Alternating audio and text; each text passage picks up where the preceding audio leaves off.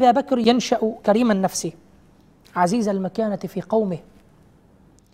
كان رضي الله عنه وأرضاه من صفاته كان أبيض الوجه أبيض اللون بشكل عام نحيف البدن هذا بالنسبة لصفاته الخلقية. فقد كان أبيض الوجه نحيف البدن وكان من ضمن من وصفه أهل الرواة وأهل الكتب كانوا يقولون كان أبيض تخالطه صفرة حسن القامة نحيف خفيف العارضين أي الكتفين. لا يستمسك إزاره يسترخي عن حوقه أو عن حوقيه. رقيقا معروق الوجه أي عروقه بائنة في وجهه. غائر العينين أقنى حمش الساقين.